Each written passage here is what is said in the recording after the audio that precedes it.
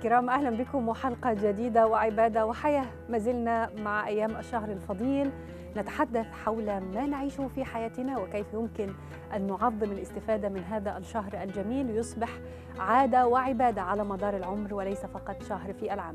معنا في هذه الحلقة ضيف عزيز جدا على برنامج عبادة وحياة وهو الأستاذ باسل نمرة المتخصص في الشؤون والإرشاد النفسي والمجتمعي أهلا بك أستاذ باسل. أهلا فيكي.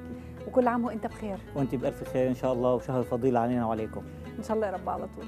أنا الحقيقة هدخل في الموضوع مباشرة يعني مع كل مشاغل الحياة ومع كل ما نعيشه من يعني ضغوط على مدار اليوم أحيانا من ينشئ عائلة جديدة يهمل إلى حد ما عائلته القديمة والأب والأم وربما يلتقون مرة كل أكثر من أسبوع أو حتى مرة بالشهر ولكن يأتي الشهر الفضيل ليقول أننا لابد أن نتجمع من جديد يعني هل تعتقد بالفعل أن الحياة أخذتنا إلى هذه الدرجة من أبائنا وأبنائنا بعد إنشاء عائلة جديدة؟ للأسف الحياة جديدة المشاغل الشغل العمل ظروف الهجرة واللجوء أخذتنا كثير عن قصتنا الأساس اللي هي ولدتنا اللي هي جابتنا على هي الحياة والحمد لله إنه هذا الشهر الفضيل عم يتكرر معنا كل سنة مشان نرجع لهي الاسر، نرجع نتذكرهم، مو بس نتذكرهم، نرجع نعيش معاهم، نرجع نعطيهم حقهم اللي نحن مقصرين فيه كثير. يعني الحقيقة أنا لا أجرؤ على اتهام الأبناء بأنهم يقومون بعملية الإهمال عمدا. يعني مشاغل الحياة بالفعل ليست جيدة. هل تعتقد أن هذه الانشغالات الكثيرة وسرعة الرتم في أيامنا أصبح مرض بالفعل؟ مرض كبير مرض كبير. يعني بيقول لك الاب يا دوب لحق يا دوب لحق أكل اولادي مصاريف المدارس مصاريف الجامعات فلازم ارقد فبيظل هالركض بينسى كثير شغلات ومن ضمنها أسرته من ضمنها أبوه وأمه. بدون قصد لكن عم ينساهم لأنه رتم الحياة سريع. لازم يأمن كل شيء لابنائه للحياة الجديدة لزوجته للبيت. هذا شيء طبيعي. فبينسى أهم شيء اللي هن أبوه وأمه. يعني ربما نكرر نحن في أيامنا العادية نقول أنه كلما يتقدم بنا العمر نعود صغار من جديد. وخاصة بعد سن معين وبعد لا نستطيع الحركة والقدرة على الذهاب والمجيء. هل بالفعل هذه المقولة صحيحة بالنسبة للأب والأم اللي هم الأجداد والجدات بالنسبة للأبناء الصغار؟ أكيد لأنه هدول في عندهم مشاعر في عندهم عواطف بيشتاقوا لابنهم. بيشتاقوا لابنهم اللي عم بيشوفوا كل شهر مرة كانوا أيام كل ثلاثة أشهر وأربعة أشهر مرة. لا. وينه أبني؟ يعني بيتمنوا يجي رمضان لحتى يجي ياكل معهم على السفره وحده مثل ما كانوا أيام زمان. فبيستنوا رمضان باللحظة إنه أكيد رمضان حيجي ويفطر معنا هو وعائلته ويجيب ونذكر أيام زمان وقت كنا كلاتنا نقعد على سفره وحده يعني وهل هذه الحساسية المفرطة التي تأتي يعني في المنتصف بالنسبة لمن يمرون بهذه الأعمار وخاصة بعد سن الستين هل هي طبيعية ومكررة في كل البلدان أم فقط لدينا في المجتمعات العربية؟ هلا شوي بالمجتمعات العربية نحن عنا إياها لأنه نحن عنا الترابط الأسري أقوى وهذا الشيء صحي على فكرة ما هو شيء بالعكس مرض بالعكس شيء صحي إنه ترجع تتلم الأسرة لأنه في في طاقة روحية كثير بتنعطى من الأسرة، أنا إذا كنت تعبان بشغلي، إذا كنت متضايق، إذا عندي مشاكل، ساعة بلجا لاسرتي كثير بتجيني طاقة إنه حل هي المشاكل. فشيء صحي وشيء رائع ويجب نستغله. يعني نستفيد منه. تمام. يعني دعنا نقول أن المعدل الصحي تقريبا للتعامل مع الآباء والأمهات بعد إنشاء أسرة جديدة. يعني يتكرر لابد أن تتكرر الزيارة كل فترة. يعني أقل شيء بالأسبوع مرة. أقل شيء بالأسبوع مرة. مو شهرين وثلاثة. طب وهل يعني تفضل أن يكون هناك بعض الأشياء التي يجب مراعاتها قبل زيارة الأب والأم في منازلهم؟ أكيد يعني نحن الشغلات البسيطة. بتذكر أنا والدي يعني والدي شو بيحب مثلا؟ بيحب برمضان التمر. فأنا وفايت فوت معي عصير تمر تمر هندي أو العرقسوس اللي بحبه بتحبه والدتي إنه تشربه برمضان. شيء صغير وشيء ما مكلف هذا الشيء يعني بيخلي والدي والدتي إنه إنه ابننا متذكرنا. ابني متذكر أنا شو كنت بحب. وربما يكون تكون الأشياء الصغيرة جدا التي ستحملها إليهم في هذه الزيارة البسيطة. هي كبيرة جدا عندهم. يعني ربما أيضا يعني الأباء والأمهات أو الأجداد والجدات يسعدون أكثر بأبناء أبنائهم أو بنات أبنائهم. يعني هذه العلاقة الخاصة جدا بين الأحفاد وبين الأجداد. يعني كيف تراها؟ هو المثل العامي بيقول ما أغلى من الولد إلا ولد ولد فهدول بيشوفوا فيهم بيشوفوا فيهم حالهم. بيقول لك أنا بشوف حالي بالحفيد وغالبا اللي هو بيكون اسمه خصوصا إذا كان اسمه مثل اسم الأب. يعني ال- الابن مسمي ابنه على اسم والده فهو بيشوف حاله فيه. بيقول لهم هذا حصتي ما حد يقرب لي عليه هذا إلي هذا أنا. بيشوف حاله هو وصغير بيتذكر المشاهد هو وصغير وحتى بيحاول هو شو تربى الأب هو وصغير يربي حفيده عليها. صحيح وربما يكون هو أيضا يعني خرج من دائرة الضغوطات والحياة ويصبح محبة بلا ضغوطات للحفيد. فاصل قصير ونعود آه، لنعرف كيف يمكن أن نصلح هذا الخلل الذي أصاب رغما عنا العلاقات مع الآباء والأبناء. فاصل ونلتقي وعبادة وحياة.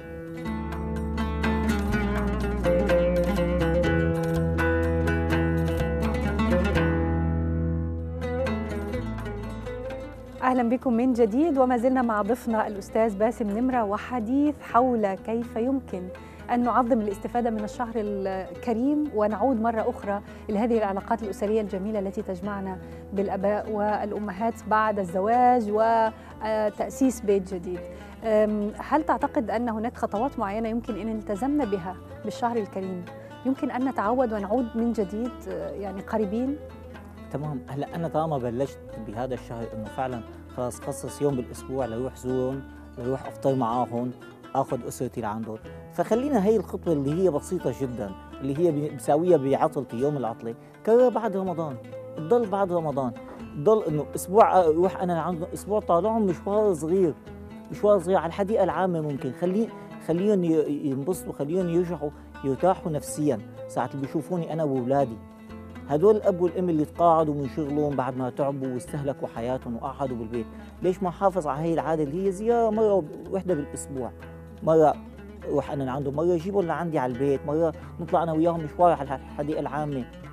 كثير حلو إنه أستفيد من الطاقة الروحانية وانقلها لبعد رمضان. هاي. طيب يعني دعنا نقول أن الحياة ليست مفروشة دائما بالورود وغالبا ما نسمع عن المشكلات التي تحدث بين زوج الابن وعائلة الزوجة أو زوجة البنت وعائلة آه، الزوج. يعني هذه العلاقة يعني الحما والحماه كما يقال. يعني إن كانت هناك مثل هذه الخلافات كيف يمكن إصلاحها في شهر رمضان؟ من وجهة نظرك من خلال روشتة بسيطة قابلة للتنفيذ. الحقيقة الروشته البسيطه إنه خليني صفر العداد مثل ما بقولوا. قبل رمضان اجى رمضان أنا كل شيء في عندي مشاكل خلص.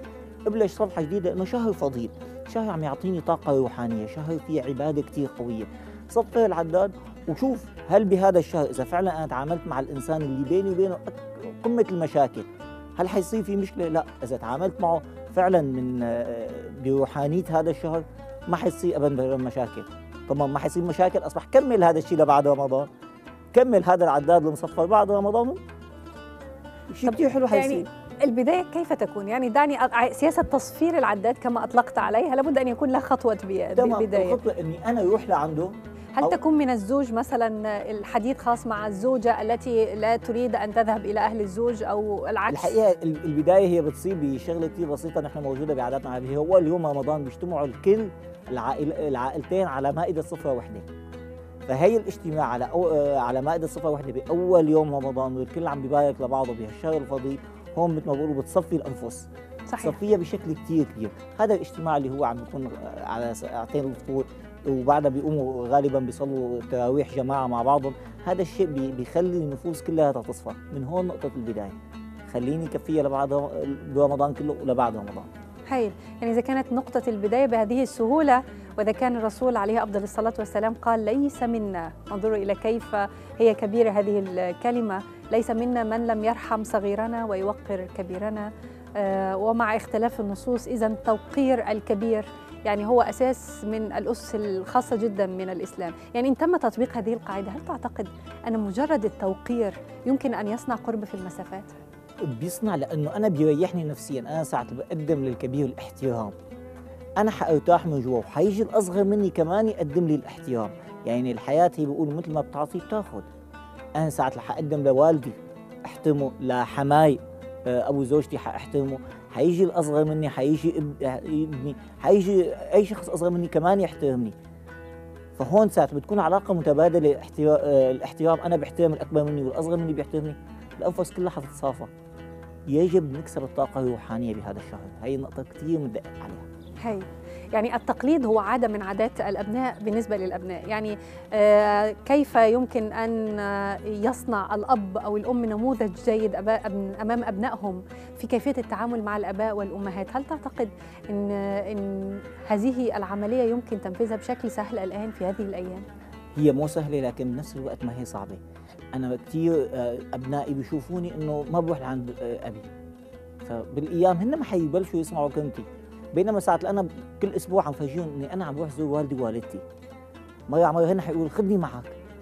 حيتذكروا ساعات حيكبروا إنه فعلا أنا كنت عم بروح على والدي ووالدتي وهن مهما ابتعدوا على الإنترنت حيزوروني. بوسائل التواصل حيزوروني لأني أنا كنت عم زور والدي ووالدتي. حتصفي بعقلهم مبرمجة هي القصة. والعكس صح ساعات حيشوفوني إني أنا بقطيعة مع والدي ووالدتي فهن رح يكونوا بقطيعة. صحيح. 100% يعني هذه الأشياء تقلد وتبقى معهم على مدار العمر. على الجانب الآخر نحن قلنا أنه عندما نكبر في السن نجد أن الحساسية المفرطة بدأت في الظهور وأيضا ربما مع وجود الأمراض ويعني هجومها على الجسم الإنسان يصبح أقل صبرا ويصبح يغضب إلى أقل الأسباب. يعني كيف يمكن أن تقدم نصائح لتحمل هذه الغضبة من الكبار بالنسبة لأبنائهم؟ هلأ بالنسبة للكبار آه، قد ما كنت بضغوطات وطبيعي مثل ما قلتي حضرتك إنه أنا المرض بيعصبني السكر الضغط كذا. بهذا الشهر الفضيل امسك المصحف. امسك المصحف. أنت كشخص كبير قاعد بالبيت وضغوطات وما حد عم يزور. امسك المصحف وبلاش تلاقي نفسك ارتاحت.